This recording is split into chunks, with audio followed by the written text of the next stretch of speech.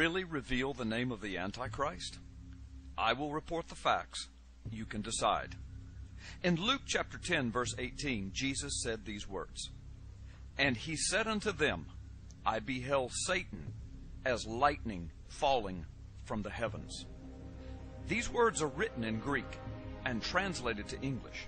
However, Jesus spoke these words originally in Aramaic, which is the most ancient form of Hebrew. As you know, the Old Testament was written in Hebrew. If a modern Jewish rabbi were to speak these words of Jesus today, he would speak them in Hebrew, much the same way that Jesus would have spoken them.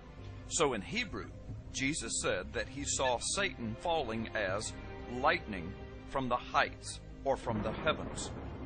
So, what are the words for lightning and heights or heavens in Hebrew? From the Strong's Hebrew Dictionary, word number 1299, a primitive root word meaning to lighten or lightning or to cast forth, the word is barak.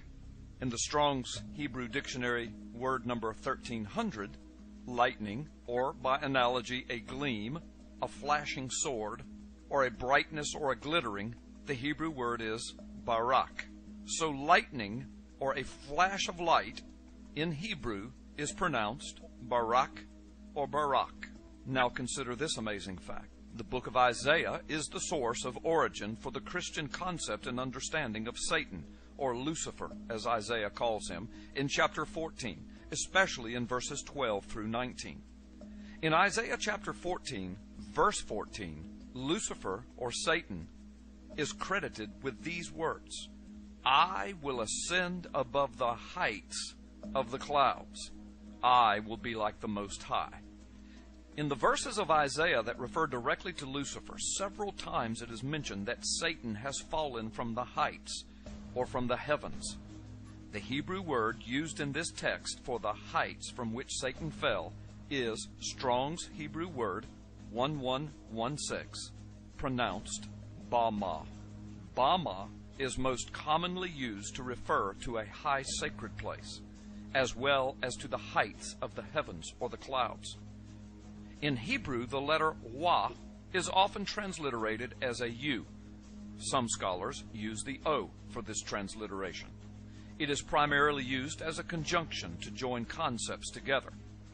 So, to join in Hebrew poetry the concept of lightning or barak and a high place like heaven or the heights of heaven, the letter U, or sometimes O, the Hebrew letter Wa, would be used. So, Barak O Bama, or Barak U Bama, in Hebrew poetry, similar to the style written in Isaiah, would translate literally as lightning and the heights or the heavens or lightning from the heights of the skies or the heavens. The word Satan is Satan in Hebrew, a direct translation. So back to Jesus' prophecy in Luke chapter 10, verse 18. If spoken by a Jewish rabbi today, influenced by the poetry of Isaiah, he would say these words in Hebrew the words of Jesus in Luke chapter 10, verse 18, as, And I saw Satan as Barak Ubama. Did Jesus reveal to us the name of the Antichrist? I report, you decide.